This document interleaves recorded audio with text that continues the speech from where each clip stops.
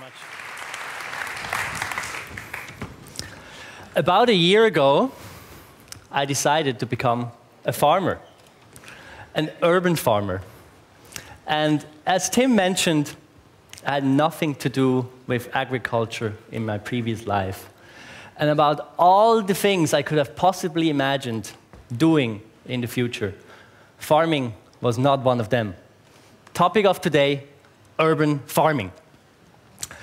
There, I think there's reason, there's reason why farming can have a more prevalent, a more promising future. First of all, we'll be 9 billion people pretty soon.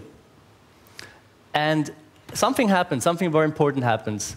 70% of us, the majority of us, will live in cities. So it could make a lot of sense growing food where people are going to live in the city. But most importantly, we will be so many more people. We need about 100% more food from today to tomorrow. 100% more. Now, some people say this is the most efficient system, this is the most, the current system, the cheapest system, this is how we do it. But I have to ask you, now, as a farmer, fellow farmer, how much, how much money are you making? And you're using all this fossil fertilizer, which is made out of oil. And we know what's going to happen to oil. Using all these pesticides and fungicides and herbicides, you're using all this water and all this fuel for transportation.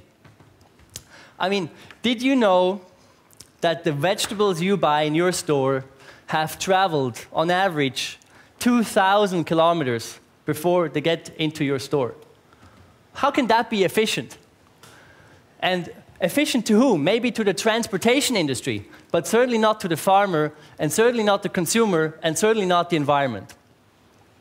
Not surprisingly, if we look at our overall footprint, the way we consume food today weighs the heaviest on our total environmental footprint. Food is more important than housing, energy, or water, or private transportation. It's the biggest impact on your environmental footprint. So small differences can already have a huge impact on this scale. Now, there are already a lot of people who are farming in the city. It's not a new phenomenon. Look at this picture here. This is taken from a farm in uh, Brooklyn, and you're looking out from the rooftop of a building into Manhattan. And on this farm, people are farming. They're farming their own food. You can buy it downstairs in the shop. There are other, more creative ways to farm, right? Like this. I love these guys. Truck farm. All right, so, honey, please hop into the car, but don't crash the salads, right? nothing to eat. We were asking ourselves, how can we make, how can we hack ourselves into the city? How can we put farming on the urban Google map? And we could start by taking this parking lot, all right? And we could say, all right, so instead of the upper level, the 40 parking lots that we have on this building, let's put that into a greenhouse. And instead of the 40 parking lots, we could grow now food for 500 people year in, year out. So those 40 of you who took the car to work, take the bus. We'll grow now food. This could be important. Of course, there, there are many approaches to this, and, and I think we need to look at solutions that are really productive and scalable, etc., and have all the means to actually achieve something. So as I said, about a year ago, I discovered that there are farmers in the city using new, innovative technologies which would allow them to grow food without soil. I said, food without soil, how can you grow without soil? Well, apparently it's possible, and some even use the technology called aquaponics, which allows them to grow fish and vegetables in a closed loop system. Now, basically, this is a technology, and by the way, this comes out of a research lab in Wädenswil, of all places. Wädenswil, the Harvard of vegetable growers, they have developed this kind of stuff.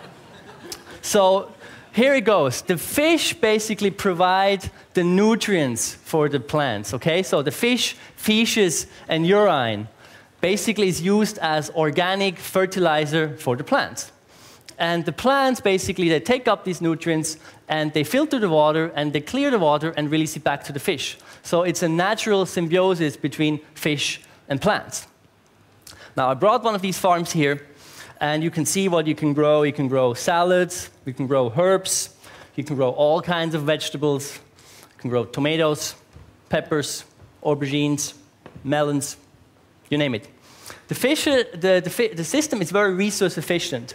We use about 90% less water than conventional agriculture, have everything in a closed loop, so it's very resource efficient, and we lose literally little waste. So at the beginning, people ask me, well, Roman, do these fish wear any nanosensors? I said, no, no, they're not. Um, but what are you going to do, Roman, with the fish? When you harvest the fish, what are you going to do with the fish? It's very easy. we eat them. Think about this the freshest produce directly from your roof onto your plate. I mean, you're going to have fish harvested just minutes ago on your plate from the roof. How great is that? Ocean's overfished, now we're bringing the fish into the city. Of course, uh, if you're looking at it, say, okay, how can we scale this? How can we present this to people? We started by building miniature farms, small urban farms. We're using recycled cargo containers and greenhouses. So on top, you would have the vegetables inside the, the cargo container, you would have the fish. And really, what we want to do here is prove the point that this is about self sufficiency.